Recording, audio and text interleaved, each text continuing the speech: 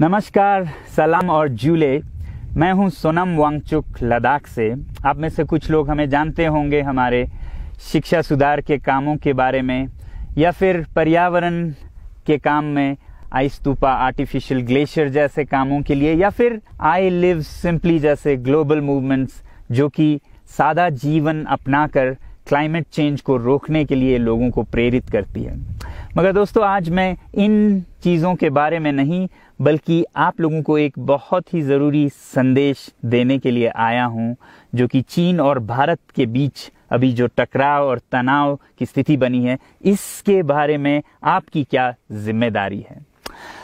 मैं लद्दाख में हूँ और आप देख रहे हैं सिंधु नदी को बहते हुए यहाँ, और वो जो पहाड़ियाँ हैं, उनके पीछे नोबरा और चांगतांग के वो इलाके हैं, जहाँ पर ये तनाव बढ़ता जा रहा है। हज़ारों सैनिक वहाँ ले जाए जा चुके हैं। सुनने में आया है, चीनी वायुसेना के जहाज़ भी वहाँ तैनात किए गए हैं और एक घंटे पहले भारतीय वायुसेना के जहाज़ भी मेरे ऊपर मंडरा रहे थे।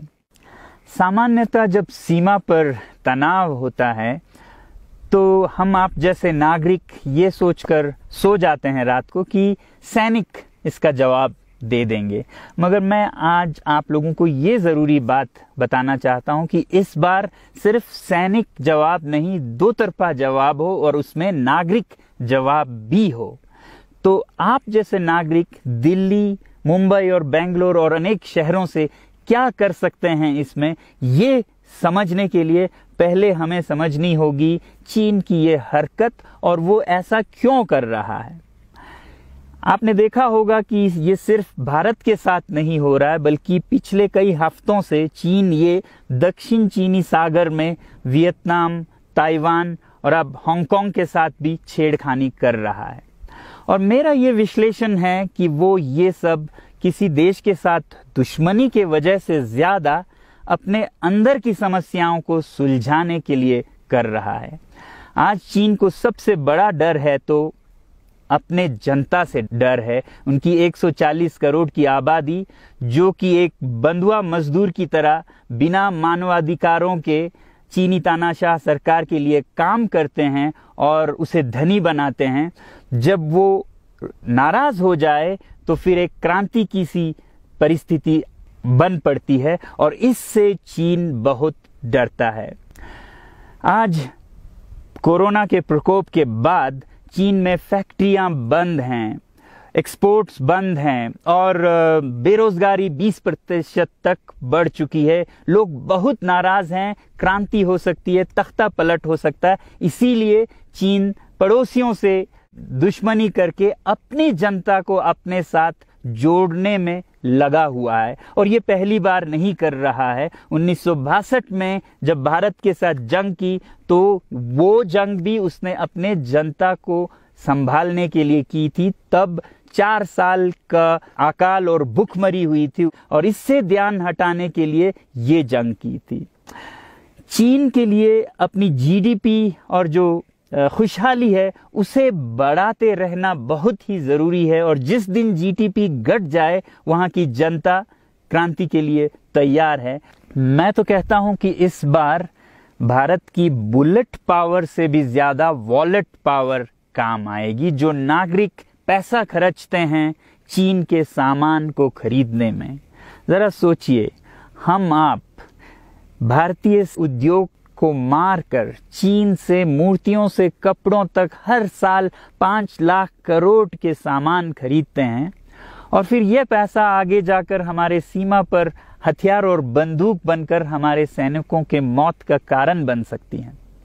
तो इसलिए अगर हमारे देश के 130 करोड़ लोग और तीन करोड़ जो भारतीय बाहर के देशों में हैं, सब मिलकर भारत में और बल्कि दुनिया भर में एक boycott made in China movement या अभियान शुरू करते हैं तो आज दुनिया भर में चीन के प्रति रोष है।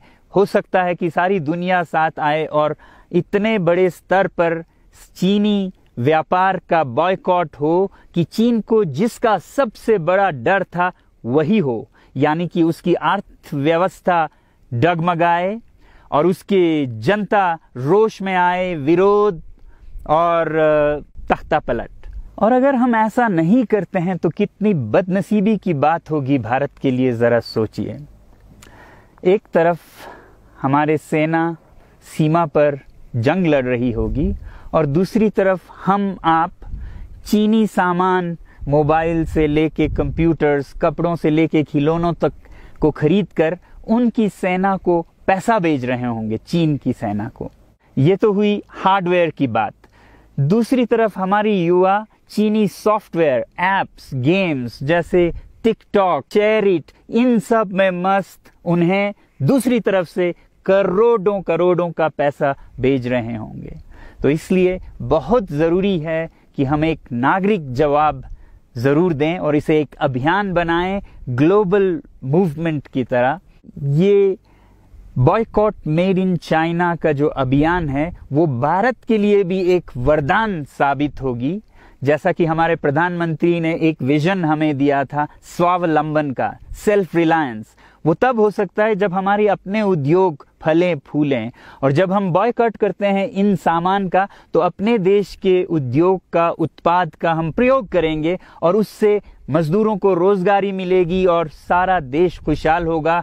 बजट होगा कि हम और अच्छी तरह से टक्कर ले सकें सीमा पर भी।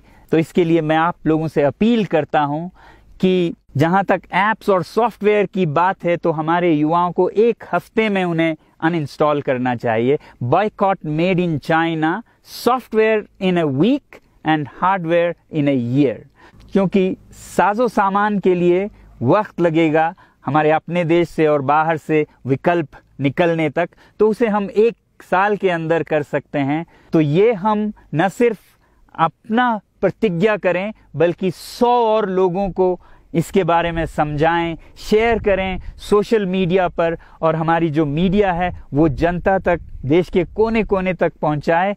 और जैसे ही इसका असर दिखने लगेगा इंटरनेट से एप्स लाखों में, करोड़ों में अनइंस्टॉल होंगे तो चीन को संदेश साफ़ जाएगा और यही एक तरीका उसे मेज पर पहुँचा सकती है जहाँ पर की बातचीत हो शांति की। तो जाते जाते मैं ये बता दूँ कि मैं क्या करने जा रहा हूँ।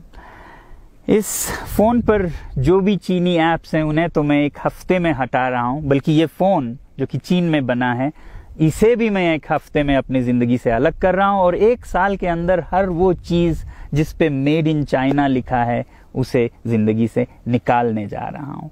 हमें चीन से, चीनी लोगों से कोई समस्या नहीं है। चीनी सरकार और उनकी रवैयों से समस्या है। जब तक चीन में परिवर्तन ना हो, हमें ऐसा करना होगा।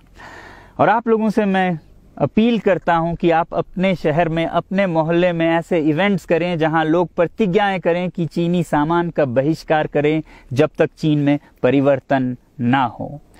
और मैं सालों से कहता रहा हूँ कि इक्कीसवीं सदी में देश के लिए जान देने की नहीं, बल्कि ज़िंदगी देने की ज़रूरत है। लद्दाख में बढ़ते हुए ये देश के लिए जान देने का कारोबार बहुत देखा।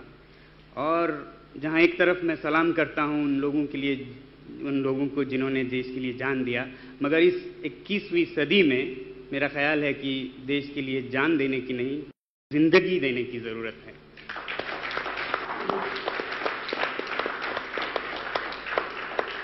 तो आप भी निभाइएगा अपना रोल। जय हिंद।